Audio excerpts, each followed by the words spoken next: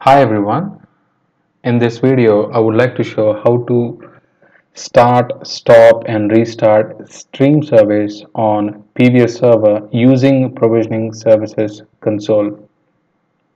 So usually when you want to uh, check any services on the server, usually we go to services.msc like a traditional way, go to search and type services and it would show the services console so once you click on services it would show services console.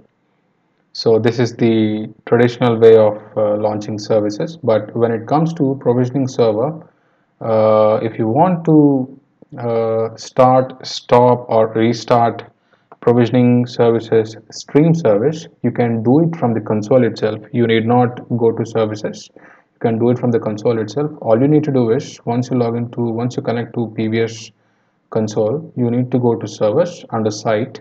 So you have servers and it would list the PVS servers information here. Right now I have only PVS server but in environments in real-time environments you have two four six or eight depends upon the environment.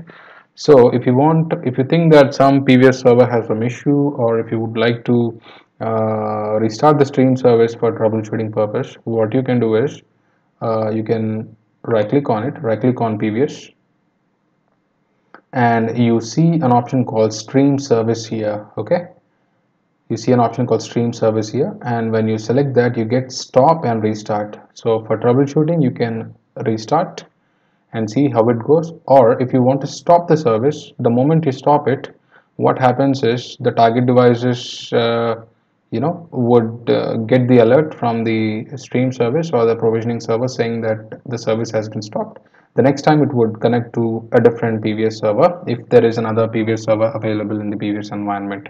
So I'm just going to restart the service uh, in this video just to show you how it is done. So I'm going to restart. So so it says PVS server and it is giving restart services. So I, I will go ahead and click on restart services. So it is trying to restart the service from from the PVS console itself